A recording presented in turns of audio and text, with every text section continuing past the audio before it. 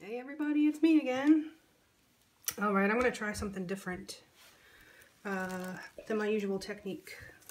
Generally, I put the silicone in the mix cup, the pouring cup. Um, but I've heard of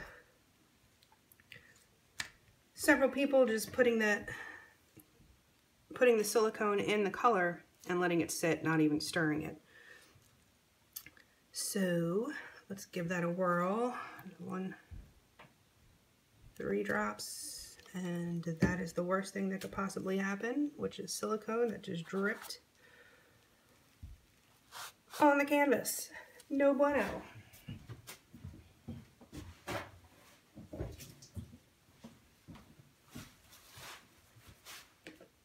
All right, so just to make sure that, that is not going to reject anything, just put a little bit of alcohol and water just to break that up. All right, that should be fine.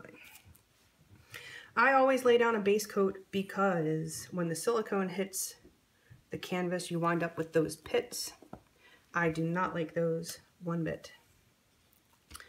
Um, I will give my mixing cup a little shot of the Blaster silicone. Mix it well. It has a lot of other ingredients in there. Spray away from the canvas. Give it a little wipe. And let's get this party started.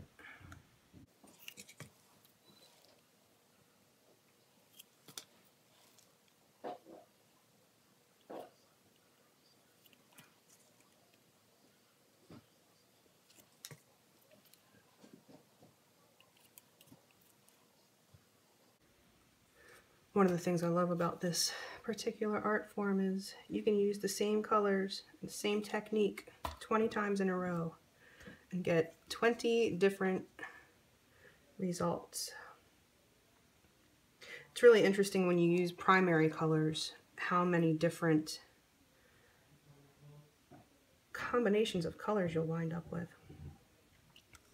Uh, something else to take note of when doing a base coat for your painting, the base coat that you use uh, will definitely have a definitely have an effect on the your colors. If I were to use black under this, it would dull the colors. So I like to use white. It makes the colors pop and if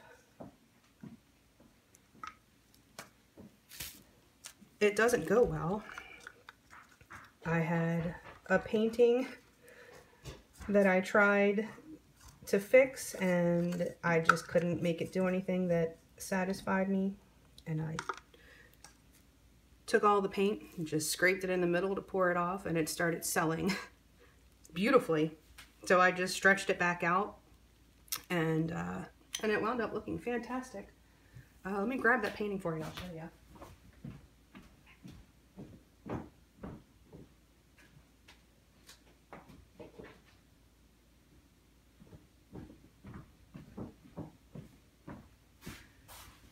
There it is. So this was all metallics and uh, with a white base coat.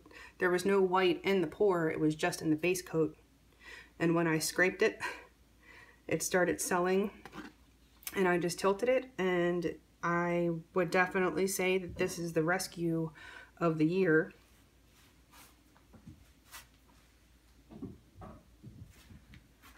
Okay, so let's lay down a little bit of a base coat here. This gets your paint sliding around nicely a dry canvas will, uh, I feel, doesn't give the best results.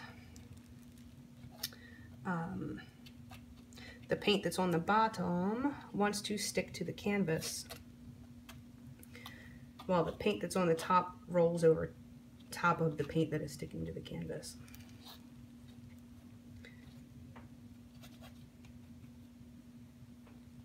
And I feel like that can cause mud.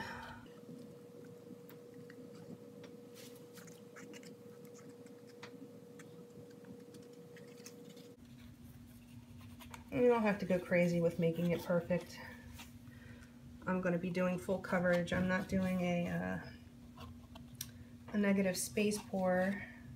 But that is also another good reason to think about using your base coat and what color base coat you would want to use. Just in case you dump that cup and all of your best stuff is hanging out on the edges and you want to preserve like even if it's just an edge, you can make it a negative space painting.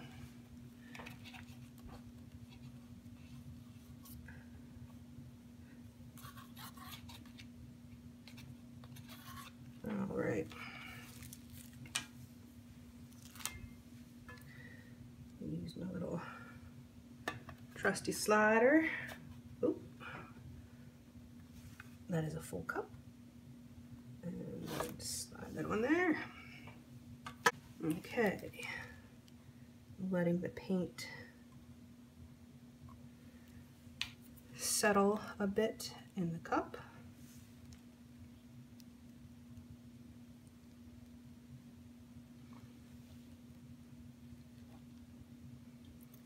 This is okay. This is not tragic it will be getting covered up. But look how beautiful that is. The cells just popping up.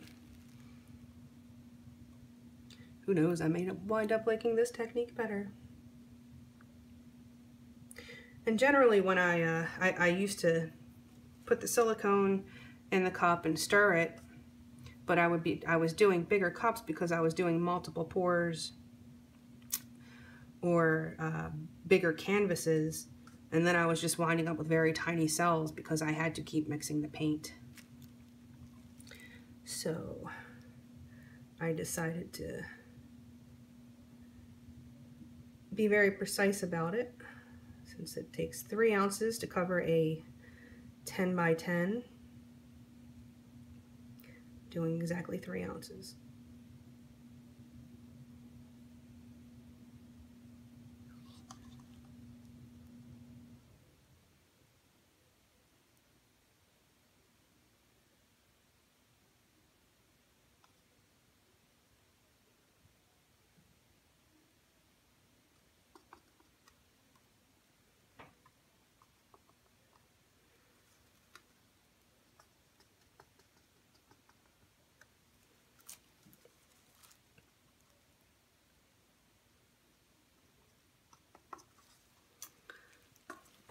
right?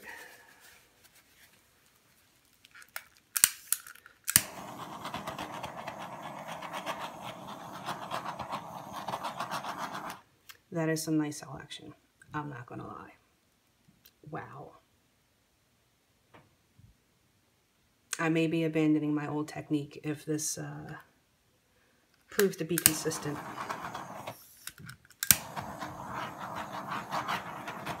And for the first time in any of my pours, all of the cool stuff is happening in the middle. all the cool stuff usually happens on the end for me.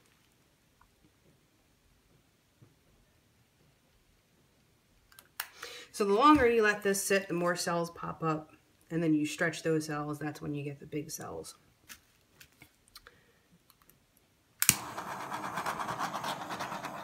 Let's uh, pop any of those bubbles in our base coat.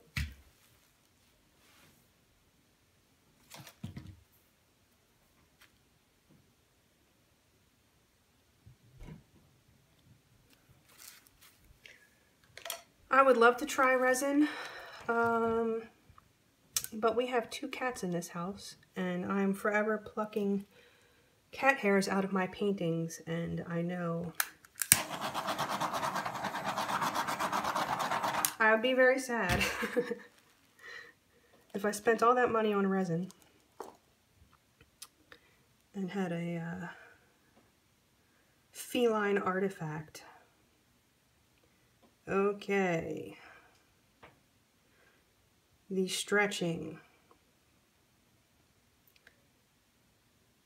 It is best to go slowly so that you don't break those cells.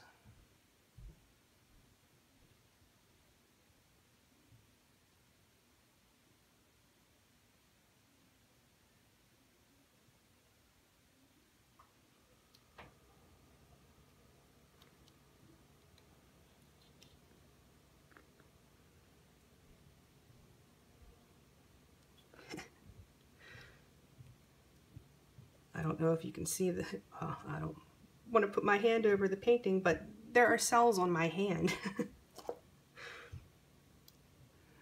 I don't know if you can see those cells on my hand. Wish I could just press that onto a piece of paper. Um, I like to go corner to opposing corner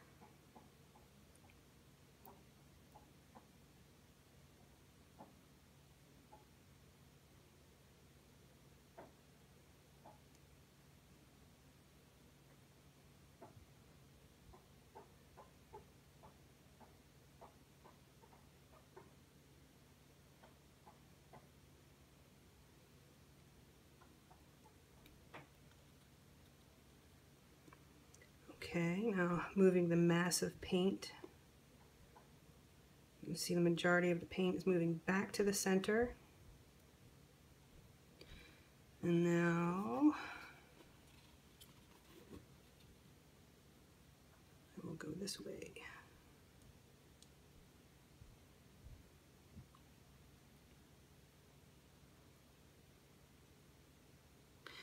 Feel like doing it this way is the best way to keep the shape of your cells.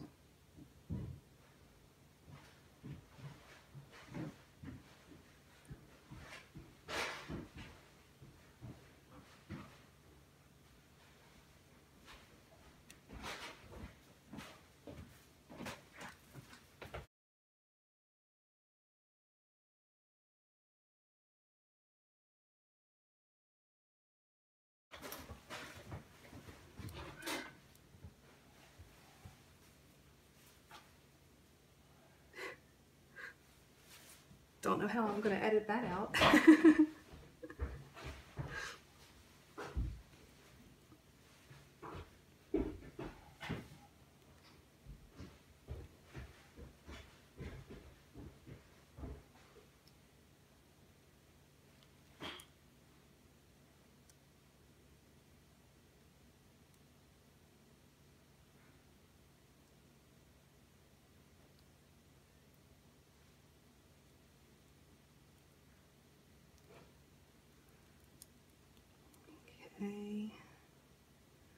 Try to move that mess back into the center.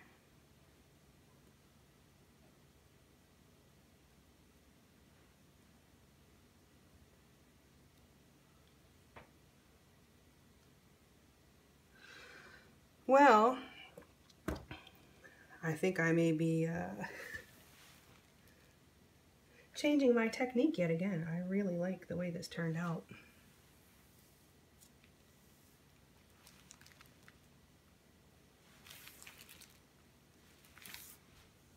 Yeah, no complaints about that. Let me wash my hands and I'll take you in for a close-up. I'm very happy with this piece.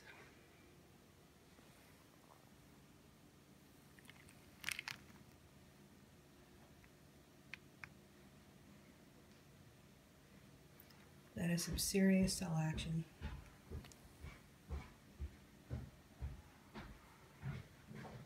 All right, that's it. Gina DeLuca signing out. Please like, subscribe. I will be uploading more videos frequently. Have a great day. Go make some art.